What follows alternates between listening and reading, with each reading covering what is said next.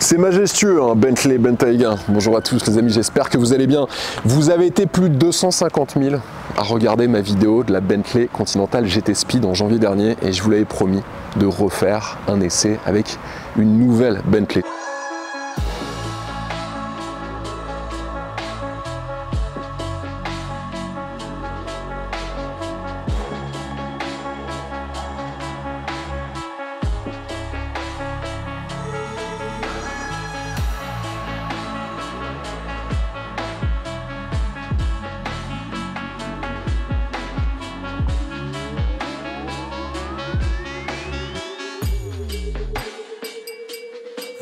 Sur le W12 de la GT Speed, qui a une puissance de plus de 600 chevaux. Non, non.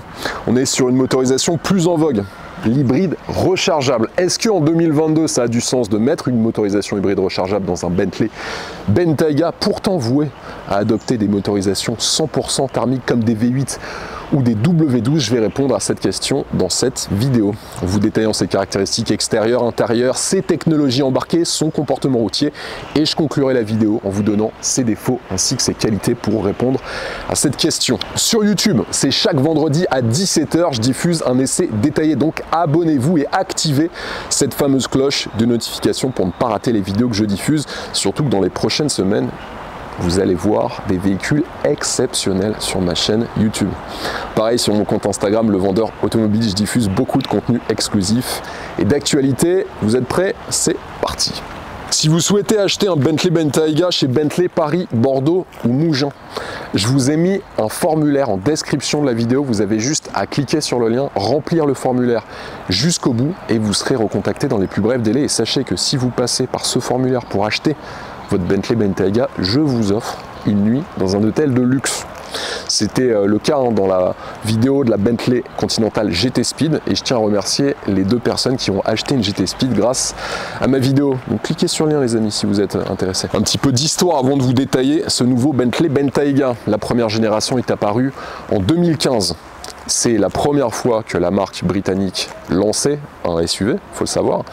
Et à sa sortie, il était annoncé comme le SUV le plus puissant, le plus luxueux, le plus rapide et le plus exclusif au monde. Rien que ça. Dans un premier temps, équipé d'un W12 de 6 litres de 608 chevaux de puissance, puis 635 chevaux sur la version Speed. Il a ensuite adopté une motorisation diesel en 2017, puis en 2018 une motorisation V8 empruntée au Porsche Cayenne puisque je vous le rappelle, hein, les motorisations sont partagées entre Bentley et Porsche sur euh, cette typologie de modèle. Il y a aussi d'autres modèles du groupe VAG qui euh, sont équipés du même V8 4 litres. Puis ensuite, apparition d'une motorisation hybride rechargeable avec un V6 3 litres de 449 chevaux. La puissance, c'est bien, mais les ventes, c'est encore mieux.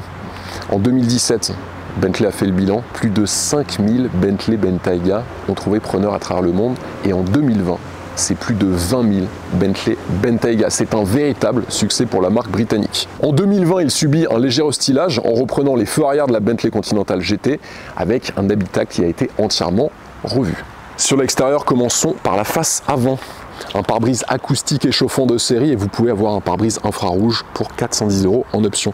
Il y a une caméra en haut de ce pare-brise qui vous permettra d'utiliser le système de reconnaissance des panneaux de signalisation, l'aide au maintien dans la voie et l'assistant des feux de route. Ensuite, ce très long capot assez massif avec des lignes ciselées qui accentuent ce côté sportif, dynamique et bestial.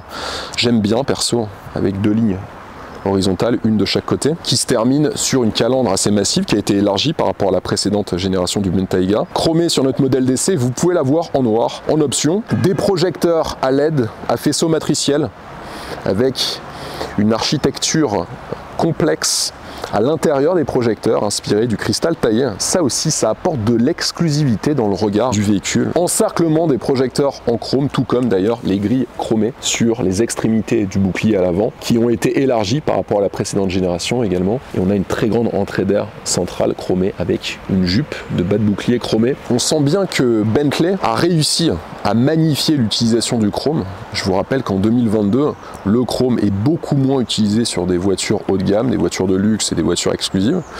Et c'est vrai qu'on arrive encore en 2022 à proposer euh, des voitures qui ont un look sexy avec euh, le chrome. Et ça, c'est vraiment pas simple dans un monde où, je vous le rappelle, l'immense majorité des voitures de luxe utilisent aujourd'hui du noir brillant. Sur la partie latérale, Plusieurs modèles de jantes sont proposés. Là, on est sur des jantes d'une taille de 22 pouces, bicolores, avec des étriers de frein de couleur noire siglés Bentley. Vous pouvez les avoir de couleur rouge en option. Encerclement des passages de roue, bien sûr, dans la teinte de la carrosserie. On a cette entrée d'air sur l'aile avant qui est chromée. Ça, c'est assez joli. Et dans son prolongement, on a une double ligne de caisse qui euh, encadre les poignées de porte et qui élargissent visuellement les épaules du véhicule lui donnent ce côté très musclé, hein, tout comme le galbe arrière du véhicule, hein, là aussi, qui est repris et qui élargit encore une fois l'arrière de la voiture. On a également cet empiècement chromé avec euh, l'inscription hybride, tout comme l'encerclement des fenêtres. Vitrage acoustique de série, pour 980 euros, vous pourrez avoir le vitrage privacy qui inclut le surtentage des vitres arrière et de la lunette arrière du véhicule. On a aussi les barres de toit qui sont chromées, un empattement de 2,99 m un réservoir avec une contenance de 75 litres. Vous pouvez même avoir le bouchon de réservoir chromé en option. Rétroviseur dans la teinte de la carrosserie. Là, on est sur une teinte de carrosserie avec un rouge profond, ça s'appelle le Cricket Ball. Les coques de rétroviseur sont dans la teinte de la carrosserie avec un répétiteur de clignotant. Les rétroviseurs sont électriques, chauffants, rabattables électriquement avec le système anti-éblouissement tout ça de série. Le badge First Edition est présent juste ici. On a un béquet arrière en couleur carrosserie qui a été allongé par rapport à l'ancienne génération et euh, la partie inférieure de ce béquet est en noir brillant, tout comme les parties latérales de la lunette arrière. Un haillon qui est plus imposant, plus gros que sur euh, l'ancien Bentayga, avec toujours l'inscription Bentley, le badge Bentley hein, qui sont chromés. On retrouve des feux elliptiques empruntés à la Continental GT avec toujours cet effet cristal. Différence par rapport à l'ancien Bentayga, c'est la position de la plaque d'immatriculation qui est maintenant sur le bas du bouclier arrière et non plus sur le haillon. Sortie ovale divisée avec ces doubles sorties d'échappement présente à l'arrière. Ça aussi, hein, ça diffère par rapport euh, au design de la précédente version. Et puis, euh, on retrouve un diffuseur assez discret, mais sur cette typologie de voiture, ce qu'on veut, c'est du luxe et peut-être un petit peu moins de sport que certains de ses concurrents. Pour ouvrir le haillon, il faut appuyer sur le B de Bentley, c'est assez simple. Dans la version hybride rechargeable, en version 5 sièges, celle que je vous présente, là vous aurez 479 litres d'espace dans le coffre. Et si vous optez pour la version 4 sièges, bah là vous aurez un espace qui sera un petit peu réduit à 378 litres. À l'intérieur du coffre, sur la partie gauche du coffre, vous avez des commandes juste ici avec lesquelles vous pourrez hausser ou euh, abaisser la hauteur du seuil de chargement. Si vous avez par exemple des colis assez lourds pour euh, mettre dans votre voiture, vous avez une prise 12 volts, un, un élément pour compartimenter les bagages. Vous avez bien sûr les câbles de recharge pour recharger les batteries de votre moteur électrique et même les finitions dans le coffre sont splendides. On retrouve même du cuir sur certains empiècements sur le coffre de la voiture. Le haillon est électrique de série et vous pouvez opter en option pour un haillon à ouverture main libre et pour le fermer ce sera juste ici. Sur ces dimensions, 5 m 12 de longueur, hein, ça commence à être un gabarit assez imposant, 2,01 m en largeur en rétroviseur pour une hauteur de 1m71. Et sur son poids, à cause bien sûr de la présence de cette hybridation, le poids culmine à 2648 kg à vide sur la balance. Alors je vous rassure, hein, c'est aussi le cas chez ses concurrents qui ont toujours des poids qui dépassent les 2 tonnes 5 lorsqu'on implante un moteur hybride rechargeable. Sous le capot, on n'a pas ce somptueux W12 qui équipe euh, la version la plus puissante du euh, Bentayga. Mais là, on a une motorisation hybride rechargeable. On peut régler même la hauteur de déploiement euh, du capot moteur, ça c'est pratique. Moteur thermique V6 3 litres TFSI qui est couplé à une motorisation électrique. Puissance combinée 449 chevaux, 700 Nm de couple et une capacité de la batterie de 17,8 kWh. Transmission intégrale permanente avec une répartition 60-40 favorisant l'arrière, il faut le savoir, pour apporter plus de dynamisme et d'agilité. Il y a deux autres motorisations proposées. Hein. Il y a l'hybride rechargeable, vous avez le V8 550 chevaux et le W12 de 635 chevaux. Boîte auto à 8 rapports, de série également. Vous pouvez regarder avoir le bouchon chromé du réservoir d'huile, ça c'est une option, sachez-le. Les performances sont plutôt bonnes pour la masse du véhicule puisque le 0 à 100 km/h est abattu en 5,5 secondes, une Vmax de 254 km/h, une autonomie en full électrique d'environ 50 km annoncée par le constructeur. Dans les faits, moi j'ai réalisé sur deux recharges complètes entre 35 et 40 km en conduite normale en 100% électrique. La consommation moyenne est annoncée par le constructeur britannique à 3,4 litres au 100 km. Je vous rassure, là ce sera possible si et seulement si vous rechargez tout le temps les batteries de votre moteur électrique. Dans les faits, moi j'ai réalisé 200 km à son volant, j'ai rechargé à deux reprises, j'ai fait 7,1 litres de consommation, ce qui est assez contenu quand on voit que la masse du véhicule à vide dépasse les 2 tonnes 6. Parlons maintenant du sujet qui fâche, le tarif de ce Bentley Bentayga hybride. Prix de base environ 200 000 euros TTC en France. Et le modèle d'essai que je vous présente, dans cette version First Edition avec les équipements qu'il contient, lui s'affiche à un peu plus de 250 000 euros. TTC, hein, je parle. Alors ça paraît beaucoup, et c'est vrai que c'est un montant assez stratosphérique, mais si je le compare à des équivalents essence qui ne sont pas électrifiés, il se positionne plutôt bien, puisque je vous le rappelle, des équivalents en termes de puissance 100% thermique, sans hybridation, sont affublés d'un malus écologique de 40 000 euros en 2022 et 50 000 euros en 2023. Donc on arrive rapidement à dépasser le prix d'un Bentley euh, Bentayga hybride lorsqu'on prend un Porsche Cayenne bien optionné, même pas en version turbo. Vous prenez un Porsche Cayenne S bien optionné, là vous allez dépasser facilement les 200 000 euros à cause des taxes. L'hybride, lui, n'émet que 82 grammes de CO2 par kilomètre. Donc vous ne paierez pas de malus écologique et vous n'aurez pas de taxes sur les véhicules de société à payer si vous le prenez sur votre société. C'est quand même pas mal pour une voiture qui fait près de 450 chevaux. Place maintenant à l'intérieur avec les places arrière. Regardez plutôt cet accueil. Là, on est dans le summum du luxe. Hein. Aussi bien en termes d'habitabilité, le siège avant il est réglé pour ma taille. Et regardez plutôt l'espace que j'ai je sais même pas pourquoi dans les sièges ils ont fait ce petit renfoncement en dessous de la tablette en fibre de carbone recouverte de cuir sur sa partie supérieure. Regardez même les éléments qui maintiennent la tablette au siège sont dans une finition en aluminium brossé magnifique. Le moins de petits détails a été travaillé, on le sent. Encore de la fibre de carbone juste ici avec des bus d'aération orientables. On est sur une climatisation quadrizone. Juste en dessous un écran qui permet aux passagers arrière de contrôler énormément de fonctions dans la voiture comme la radio, les médias, la climatisation, les sièges, les stores, l'éclairage, même la télévision, le son. Et vous pourrez aussi accéder au réglage du véhicule vous pourrez quasi tout faire. Seul petit bémol, cet écran est positionné un petit peu bas, je trouve. Il aurait fallu peut-être le positionner au-dessus des bus d'aération orientables. En tout cas, les finitions sont tout bonnement incroyables. En dessous, on a une prise 12 volts, deux prises USB-C, tout est recouvert de cuir. Du cuir, parlons-en. Sur les sièges, cuir perforé, diamanté sur la partie haute du dossier avec l'inscription First Edition.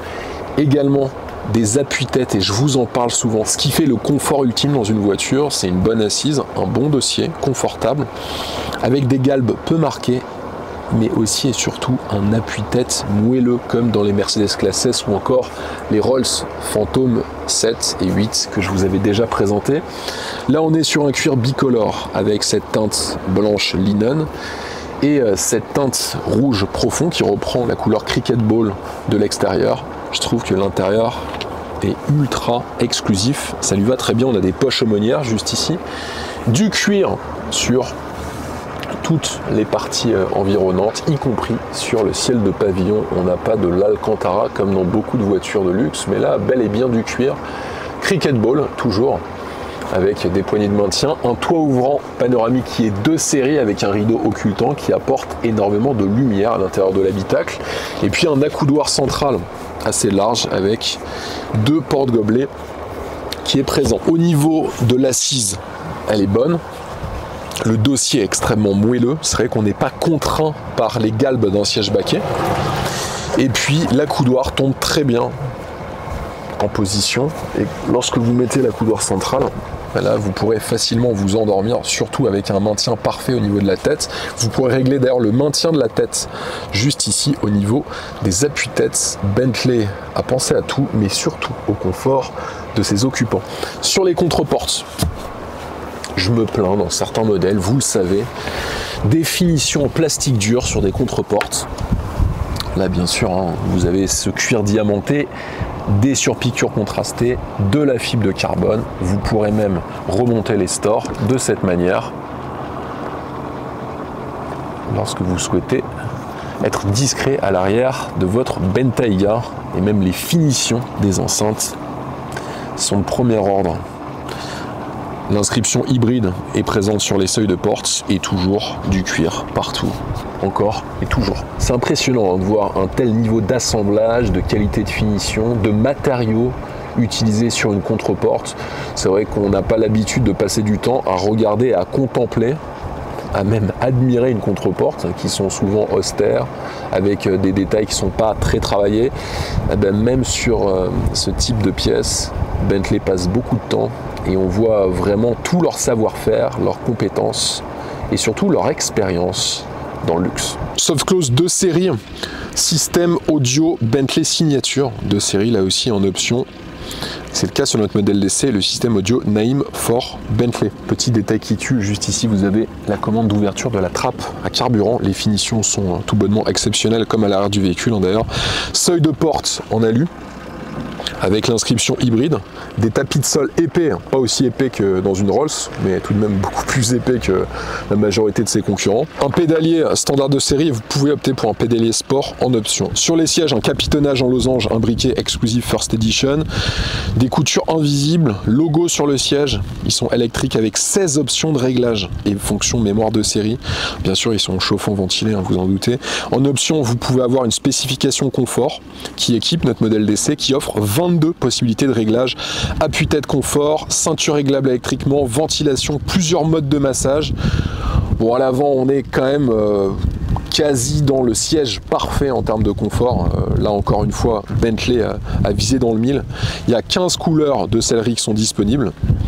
Et sur notre modèle d'essai, on a cette sellerie linen sur les sièges avant qui est contrastée avec ce rouge qui est repris sur la teinte extérieure du véhicule. Un volant multifonction en cuir uni à trois branches. Vous savez que j'adore les volants à trois branches, mais alors celui-là est tout simplement magnifique. Il est même euh, à quatre branches, hein, si on est vraiment pointilleux.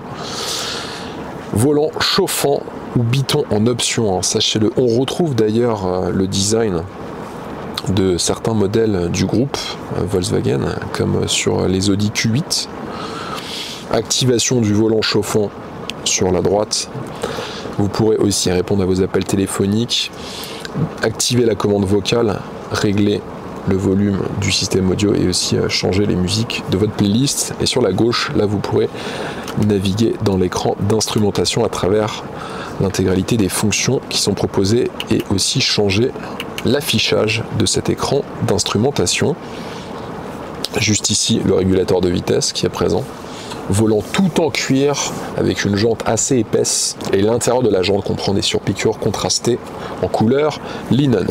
Un écran d'instrumentation digitale haute définition entièrement personnalisable, forcément, avec euh, les commandes que je viens de vous montrer. Vous avez aussi la vision nocturne, l'affichage tête haute sur notre modèle d'essai, car c'est en first edition. La casquette du tableau de bord est recouverte de cuir avec toujours ses surpiqûres contrastées et puis des finitions en fibre de carbone de part et d'autre de l'écran d'instrumentation. Le luxe est à profusion même lorsqu'on est au volant de cette voiture.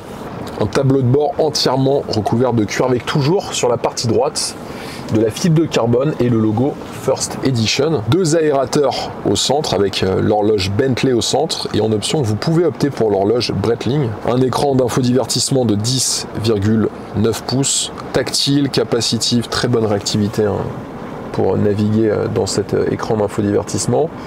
Vous avez aussi l'Apple CarPlay qui est disponible, l'Apple CarPlay sans fil même, ça c'est très pratique, et l'Android Auto de série caméra 360 degrés lorsque vous allez activer par exemple la marche arrière. TV numérique en option et en dessous de l'écran, vous avez les commandes pour naviguer dans l'info divertissement avec les commandes d'accès rapide et aussi juste en dessous, encore une fois, là vous avez toutes les commandes de chauffage et de climatisation, que ce soit dans l'habitacle mais aussi pour vos sièges. Les sièges sont chauffants et ventilés.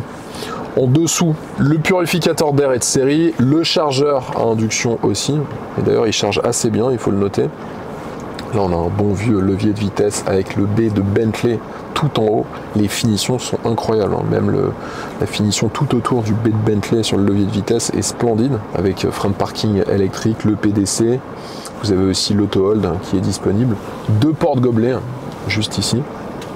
Vous pourrez désactiver votre ESP, choisir vos modes de conduite et là vous avez l'aide à la descente. Bien sûr, tout est encerclé de chrome et de fibres de carbone, comme s'il n'y en avait pas assez. Un léger rangement est disponible ici et sous la coudoir centrale, là aussi vous avez un autre rangement avec deux prises USB-C. Et sachez qu'en option, vous pourrez opter pour un compartiment à verrouillage biométrique.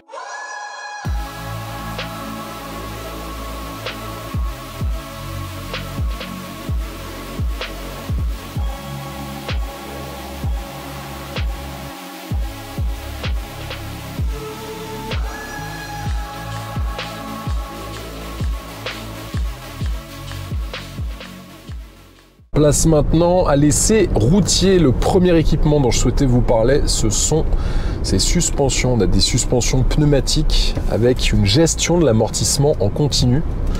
Vous avez quatre réglages de la hauteur. Grâce à cette suspension pneumatique, vous avez la hauteur d'accès, vous avez la hauteur normale, raised et aussi off-road qui sera utilisée uniquement pour euh, évoluer et faire du franchissement léger, hein, je tiens à le préciser. Hein, c'est pas non plus un franchisseur hors pair comme un, Jeep Wrangler, ce Bentayga.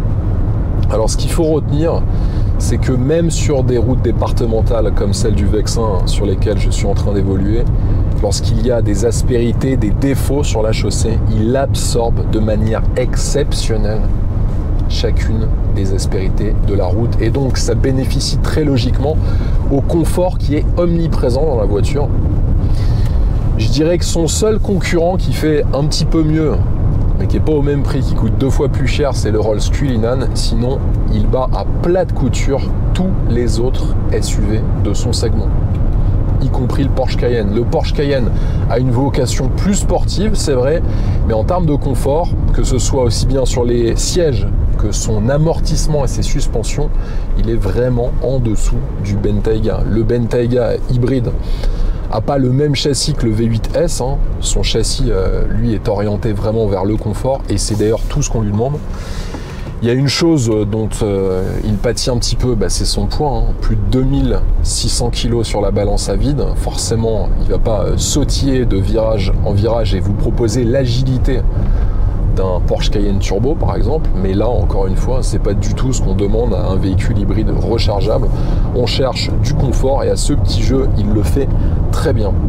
À noter que sur sa tenue de route, il est aidé par beaucoup d'aide à la conduite et beaucoup de systèmes, comme l'anti-patinage bien sûr. Vous avez le blocage de différentiel arrière. Vous avez également la direction assistée euh, électrique et un système de contrôle de la trajectoire. Bentley n'a pas ajouté à l'hybride rechargeable des technologies lui permettant d'améliorer ses vitesses de passage en courbe comme sur d'autres modèles concurrents. Mais je vous assure, à son volant, même si la puissance, je vais y revenir dans quelques minutes, est largement suffisante, on n'a pas envie de rouler vite, on a juste envie de profiter de son confort. Et en même temps, une Bentley, c'est fait pour ça. Le circuit, c'est pas pour elle. Quatre modes de conduite sont proposés. Vous pourrez les sélectionner à partir de la molette située sur la console centrale. Vous avez le mode sport, le mode B pour Bentley, le mode confort et custom. Bien sûr, ils vont agir sur euh, la direction, la réponse moteur, la réactivité de la boîte de vitesse et aussi sur euh, l'amortissement du véhicule. À noter qu'il y a l'e-mode qui est disponible. Alors l'e-mode, il va vous permettre d'optimiser la gestion de l'hybridation de la voiture. Lorsque vous allez euh, mettre en route votre euh, Bentley Bentayga hybride, vous aurez donc la possibilité de choisir entre les trois modes de l'e-mode, donc le mode EV Drive, là vous serez en 100% électrique, donc uniquement le moteur électrique. Ensuite vous avez le mode hybride, qui là va optimiser la gestion du thermique et de l'électrique. Et enfin, le mode maintien, le troisième mode de l'e-mode. Et ce mode maintien, il vous permettra de conserver la charge de la batterie de votre moteur électrique. Donc par exemple, vous rechargez chez vous, vous souhaitez faire de l'autoroute ou de la route pendant 150-200 km, mais gardez la charge du moteur électrique parce que vous savez qu'après cette évolution sur euh, autoroute ou route départementale, vous allez évoluer en ville, eh ben, vous utilisez le mode maintien. Et ça, c'est une bonne chose parce que souvent sur les hybrides, beaucoup d'hybrides sont, sont équipés de ce système, mais il y a encore des hybrides qui ne l'ont pas et donc euh, lorsque vous êtes euh, en charge pleine, vous ne pouvez pas la conserver. Et je trouve qu'il y a une euh, bonne gestion du thermique et, de l'électrique dans la voiture et ce qui vous permet d'avoir une expérience de conduite vraiment axée vers le confort et pas sur la performance du tout. Mais encore une fois, c'est là où il est le meilleur et c'est là où vous l'apprécierez le plus. Les modes de conduite transfigure pas la voiture, même si en mode sport, on ressent tout de même une réactivité beaucoup plus prononcée que lorsque vous êtes en mode euh, confort par exemple. Je vais euh, revenir dans quelques secondes sur les performances euh, du Bentayga. Parce que niveau performance, il y a près de 450 chevaux sous le capot. Donc forcément, lorsqu'on enfonce la pédale de droite, on le sent. Les rapports se passent avec une douceur exceptionnelle. La boîte de vitesse automatique à 8 rapports est vraiment extrêmement douce, fluide et agréable à l'utilisation. Ça c'est vraiment top lorsqu'on est au volant de ce SUV. Vous pourrez aussi changer euh, de manière manuelle les rapports, que ce soit avec le levier de vitesse, mais aussi avec les palettes qui se situent derrière le volant. Transmission intégrale continue avec différentiel central Torsen qui bien sûr optimise l'adhérence de la voiture, quelles que soient les situations de conduite que vous rencontrerez, mais aussi quel que soit le type de chaussée sur laquelle vous êtes en train d'évoluer. Alors c'est vrai que quand on a une masse supérieure à 2 tonnes 6, beaucoup de puissance, il faut faire attention à l'inertie que la voiture peut prendre, notamment lorsqu'on enchaîne des virages, des zones avec euh, énormément de courbes on peut facilement se laisser emporter vers l'extérieur du virage. Et, euh, heureusement qu'il y a ce différentiel central euh, Torsen. Il ne peut pas corriger les lois de la physique, bien sûr, mais tout de même, il vous permettra d'adopter des rythmes très soutenus, en tout cas pour ce gabarit, sans aucun souci. Et euh, ça vous permettra aussi de vous mettre en confiance et de vous sentir en sécurité. ça, c'est quand même un bon point parce qu'il y, a des, euh, voitures, notamment électriques, avec des poids équivalents, des répartitions euh, pas forcément bien travaillées des masses et qui font que bah, on peut se faire peur dans certains virages et c'est pas le cas de ce Bentayga hybride. Je suis pas en train de vous dire qu'il est sportif car ce n'est pas un SUV sportif du tout.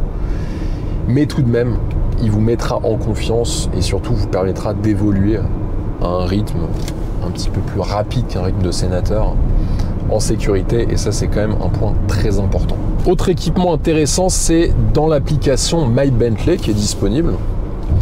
Vous avez juste à connecter à l'application votre véhicule et là vous avez énormément de services qui vous sont proposés comme le service My Cabin Comfort qui vous permettra de pré-régler la climatisation ou le chauffage pour que lorsque vous allez entrer dans votre Bentayga, il soit à bonne température.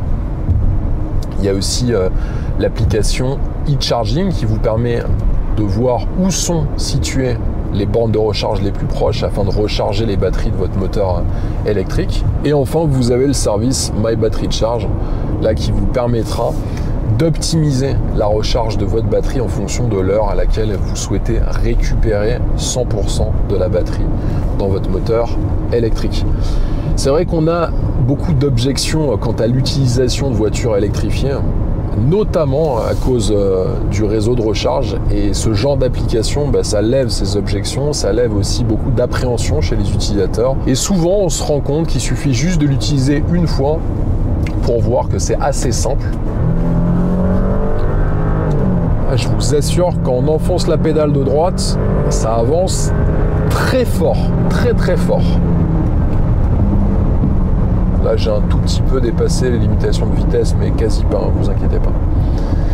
Vous pourrez en 100% électrique atteindre jusqu'à 135 km/h sans intervention du moteur thermique. Ça, c'est quand même pas mal. Donc, vous pourrez aller sur autoroute en 100% électrique. Sachez-le.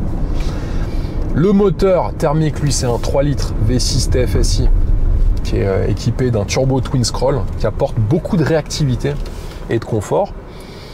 Et l'association des deux propose une puissance qui culmine tout de même à 449 chevaux pour 700 Nm de couple, hein, c'est pas rien. Hein. Je vous rappelle qu'une Ferrari Portofino, c'est 750 Nm de couple. Donc ce Bentley Bentayga hybride, il a quasi la même valeur de couple qu'une Ferrari Portofino de dernière génération, hein, c'est vous dire. Je vais vous faire bien sûr une petite accélération pour que vous puissiez voir ce que ça donne. Donc là, je vais me mettre en sport. Est-ce que vous êtes prêts ah, Il prend 6005, quasi 7000. Ouais, ouais ça, le 0 à 100 km/h en 5 secondes 5, il le fait tranquillement. Vitesse max 254 km/h, des relances plus que véloce. Je vais vous faire un petit test, je vais me mettre à 60 je vais accélérer à, fond. Ce qui est intéressant, c'est que lorsqu'on lit la fiche technique, c'est vrai qu'on émet pas mal de doutes quant à sa capacité à adopter des rythmes dynamiques. Et pourtant, et pourtant, il vous étonne pas mal. Alors, ce qui explique aussi cette vélocité, hein, malgré son poids, bah, c'est la présence du moteur électrique. Hein. Regardez, je vais me mettre à 60 km/h pour que vous puissiez voir. Et là, je vais faire un petit kickdown. Je suis en mode sport. Je mets un kickdown, ouais, voilà, ça colle la tête au fond de l'appui-tête immédiatement. Vous faites le 60 à 100 km/h en, je pense, 2-3 euh, secondes seulement. Preuve que même avec euh, un tel poids, ben, on peut avoir euh, des petites sensations au volant d'une voiture hybride rechargeable. Alors, ne vous fiez pas non plus à cette fiche technique, 0 hein. à 100 km/h en 5 secondes 5. On pourrait affilier ce type de chrono à une voiture sportive. Hein. Pourtant, ce n'est pas du tout, mais du tout la vocation de ce SUV. Mais euh, vous pourrez facilement vous insérer sur autoroute, doubler des voitures sur euh, des routes secondaires, des départementales ou des nationales, mais sans aucun souci. Et puis même, hein, vous pourrez faire face au feu rouge à des voitures beaucoup plus véloces et beaucoup plus sportives que euh, ce SUV très lourd.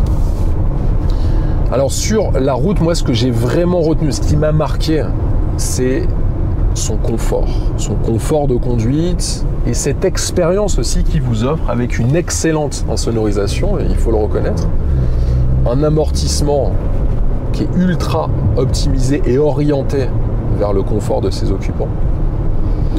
Et puis aussi cette capacité, il faut le dire, à pouvoir euh, vous apporter euh, un peu de vélocité lorsqu'on en a envie.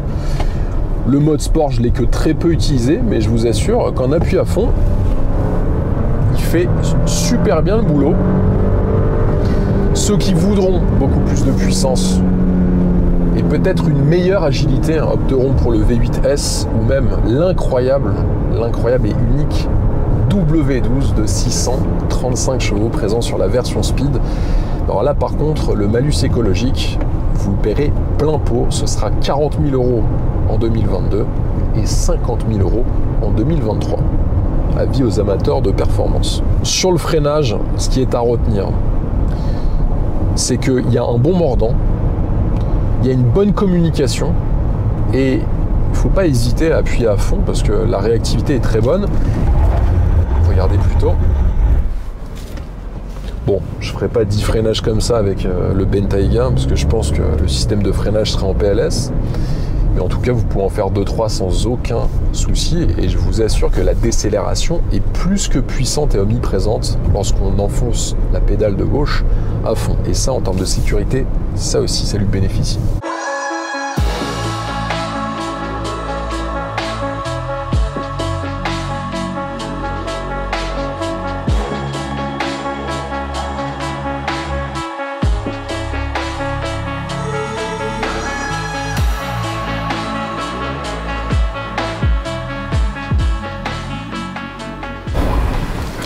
Il faut maintenant conclure l'essai de ce nouveau Bentley Bentayga hybride rechargeable. Ce que j'ai retenu parmi ses défauts, c'est un poids relativement élevé à cause de la présence des batteries du moteur électrique. On a une autonomie en 100% électrique un petit peu faible, mais qui sera suffisante pour des évolutions en ville. Et puis des options qui restent chères. En effet, on est chez Bentley. Je vous rassure, il a beaucoup de qualités. Déjà, un confort de conduite tout simplement exceptionnel. On a une insonorisation à vous endormir, que ce soit à l'avant ou à l'arrière euh, du Bentayga. Des consommations très faibles par rapport aux versions V8 et W12 de 635 chevaux. Et puis une puissance largement suffisante. Je vous rappelle que si vous êtes intéressé par l'achat d'un Bentley Bentayga hybride rechargeable ou d'un autre modèle de chez Bentley, je vous ai mis un formulaire en dessous de la vidéo. Cliquez sur le lien, vous remplissez le formulaire jusqu'au bout et ensuite vous serez recontacté par les équipes de Bentley Paris, Bordeaux ou Mougins en fonction de votre géolocalisation. Je vous rappelle également que si vous commandez un Bentley Bentayga par mon intermédiaire, je vous offre une nuit dans un hôtel de luxe. C'est quand même pas mal comme cadeau ça. Pour répondre à la question, est-ce que c'est pertinent d'acheter un Bentley Bentayga hybride rechargeable en 2022 Il y a plusieurs éléments à prendre en compte. Déjà, en premier, la fiscalité. Il y a de moins en moins d'acquisition de gros SUV puissants pour la simple et bonne raison qu'il y a des malus écologiques qui sont extrêmement élevés, 40, 50 000 euros tout simplement pour obtenir un certificat d'immatriculation. Ça devient tout bonnement délirant. Deuxièmement, des consommations qui sont extrêmement faibles, surtout si vous jouez le jeu en rechargeant le plus souvent possible les batteries de votre moteur électrique. Là, on arrive même sur un Bentayga à des consommations bien inférieures à celles d'une voiture citadine. Et puis, euh, en termes de confort de conduite, d'expérience de conduite, que ce soit pour le conducteur ou ses passagers, on profite dans les évolutions dans des zones urbaines ou périurbaines d'un silence de cathédrale à l'intérieur. Et ça, c'est vraiment très appréciable. Donc oui, il est pertinent en 2022 de se diriger vers euh, ce genre de motorisation, car les motorisations 100% thermiques commencent à connaître des diffusions extrêmement confidentielles.